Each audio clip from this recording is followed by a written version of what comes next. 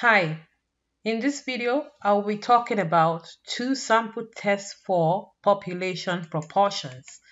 This will be for independent samples and we also have large samples. Sample 1 is greater than or equal to 30 and sample 2 is also greater than or equal to 30. We will also be constructing a confidence interval for the difference between population proportions. We will look at the following example. A researcher conducted a study to determine if the percentage of people that ride bike to work in a city in Ontario has changed in the last 10 years. The data contained a sample of 795 people in 2010. 15 people rode bikes to work. The data in 2020 shows that out of the 1,200 people surveyed, 55 rode bikes to work. Perform the test at a 1% level of significance. Let P1 and P2 be the population proportion of people that rode bikes to work in 2010 and 2020 respectively.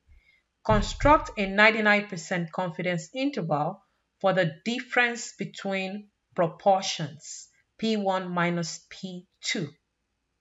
We will look at the claim in this question. The claim is that the percentage of people that ride bike to work in Ontario has changed. So as a result of that, my claim is the alternative. P1 is not equal to P2 or P1 minus P2 is not equal to 0. The null will be P1 is equal to P2 or P1 minus P2 is equal to 0. To test this, we get all of the information we need from the question. We will be finding our P1 hat. My P1 hat is right here. I have 15 out of 795. My P2 hat will be 55 out of 1200. Next, I need P bar. My P bar will be the pooled sample proportion. So this will be 15 plus 55 divided by 795 plus 1200. Next, my Q bar will be 1 minus my P bar, which in this case is 0. 0351. Once I get all of these values, I will put them into the formula to compute the test statistic. The P1 minus P2 in this case will be 0 based on our hypothesis. Once I put all of these values into the formula, I arrive at my test statistic, which will be negative 3.2. 2, 1. Next, I will figure out what the critical value is. Uh, for me to get the critical value, I will type this formula right here into any cell in Excel. Notice that my alpha is 1%. So the area on either tail, since it's a two-tail test, will be 0.01 divided by 2, which will be 0.005. The corresponding critical value returned from Excel will be 2.575, same value on the right tail, and then negative 2.575 on the left tail. After getting the critical value, I can go ahead and make my decision. My critical value, like we see here, is greater than the test statistic. As we can see from here, the test statistic falls in the rejection region. So we will say we will be rejecting the null hypothesis. We can also find the p-value by typing this formula right here into any cell in Excel.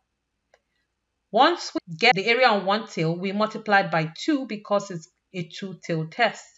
So the p-value comes out to be 0.0013, which is also less than alpha, which is 0.01. So we equally reject the null hypothesis.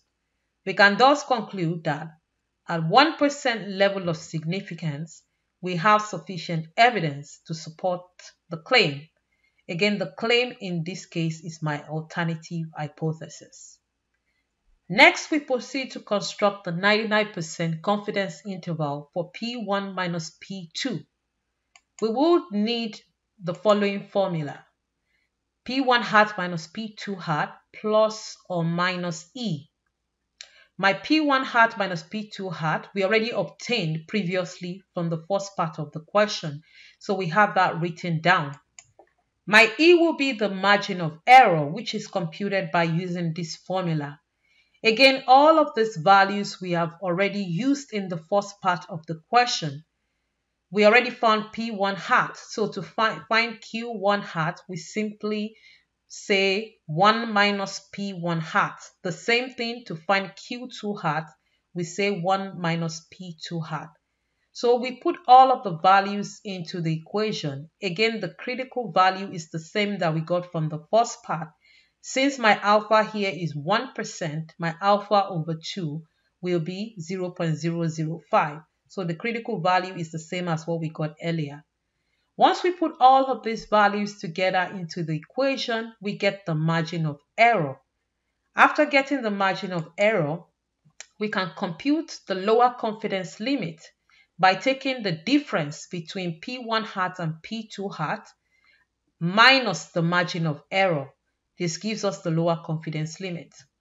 The upper confidence limit will be obtained by taking the P1 hat minus P2 hat plus the margin of error.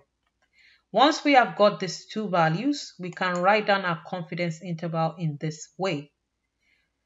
The confidence interval, as we can see here, does not contain zero. So that means that we reject the null hypothesis. This also supports the result from the first part of the question.